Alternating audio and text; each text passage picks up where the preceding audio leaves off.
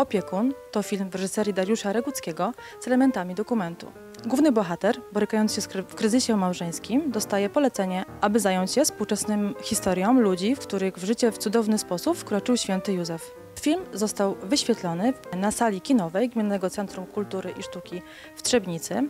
Na seans zostali zaproszeni e, wszyscy seniorzy z gminy Trzebnica. Na przedświąteczny i nieodpłatny seans zaprosił burmistrz gminy Trzebnica Marek Długozima. Witam wszystkich bardzo serdecznie na kolejnej naszej odsłonie, którą zaproponowałem Państwu w 2016 roku.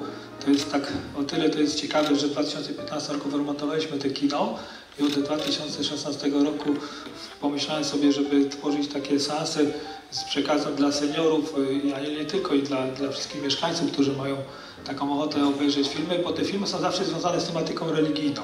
One są w okresie Adwentu i czy też jak teraz przeżywamy okres Wielkiego Postu. Bardzo dobra inicjatywa, bo nieraz jest tak, że, że nie, nie wszystkich stać jest, a tak to chętnie przyjdą. A po drugie to jest bardzo ciekawy film i proszę zobaczyć, jest już prawie cała sala, sala zapełniona. Święty Józef jest opiekunem Kościoła Świętego, jak i również opiekunem, jeżeli człowiek wie, że to jest każdego człowieka i można też, e, ja doświadczyłam ogromnej opieki Świętego Józefa, można powiedzieć cudów, bo kiedy było bardzo ciężko, bo byłam kiedyś przełożoną i wtedy prosiłam właśnie siostry, e, Świętego Józefa o pomoc i posłał mi życzliwych ludzi, którzy pomogli w, no, w odbudowaniu, od, od restaurowaniu takiej no, niedużej wspólnoty we Wrocławiu.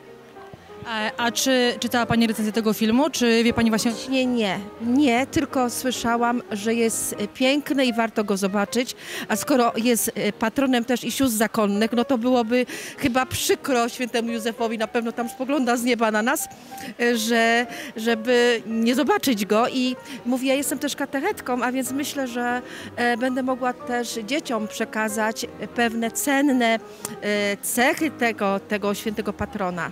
Jestem emerytem. Stać mnie na to, ale jeżeli jest taka możliwość, to chętnie korzystam z takich yy, po prostu imprez, filmów, jakichś takich bezpłatnych dla emerytów. Także jesteśmy wdzięczni organizatorowi, panu burmistrzowi. Dziękujemy z całego serca.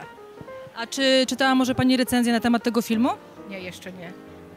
E, A dlaczego się Pani zdecydowała, żeby właśnie dzisiaj przyjść? Y, Powiadomiła mnie koleżanka i tytuł mnie zainspirował. I z kim tu Pani dzisiaj jest?